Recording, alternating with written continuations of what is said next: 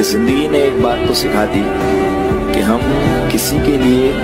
हमेशा खास नहीं रह सकते